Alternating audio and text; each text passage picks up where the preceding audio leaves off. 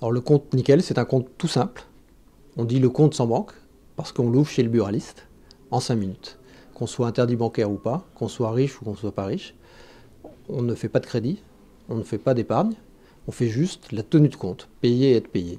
Donc on donne un relevé d'identité bancaire, on donne une Mastercard internationale, les gens donnent leur relevé d'identité bancaire aux allocations familiales à leur employeur, reçoivent leurs revenus et les dépenses en virement, en prélèvement, en paiement carte. Payer et être payé, c'est un métier de technologie, c'est tout simple, et ça coûte 20 euros par an.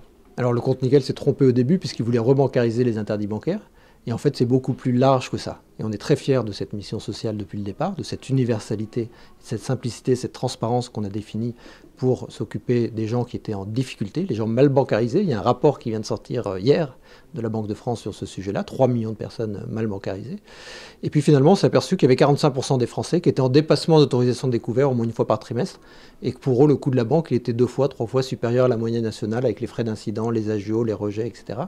Et donc, fondamentalement, on fait passer l'ardoise de 300, 400 euros par an en moyenne à moins de 50 euros pour les gens qui viennent sur compte nickel, pour 45% des gens.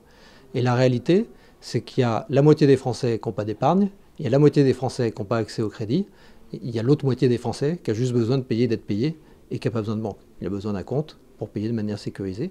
Donc le marché est beaucoup, beaucoup plus large que ce que l'on imaginait. C'est pour ça qu'on va ouvrir 1800 comptes aujourd'hui, dans la journée.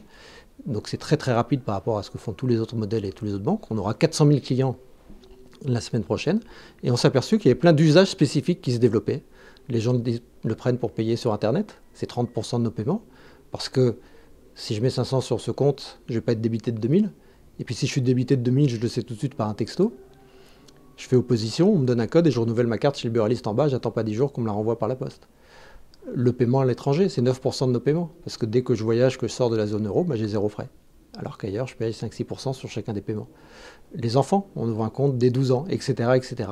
Et donc on est devenu un peu comme le stylo bic, qu'on soit cadre ou qu'on soit ouvrier, on a de la technologie dans l'encre, on a de la technologie dans la mine, mais c'est le même pour tout le monde. Et ça fait, ça répond au besoin très simple, qui est le besoin d'écrire. Ben, nous, on répond au besoin très simple, qui est de payer, d'être payé, avec la même solution. Beaucoup de technologie, beaucoup de temps réel, pour tous. Payer, être payé, c'est un métier de technologie, c'est plus un métier bancaire. Alors, on rend service aux gens. On est agréé par la Banque de France.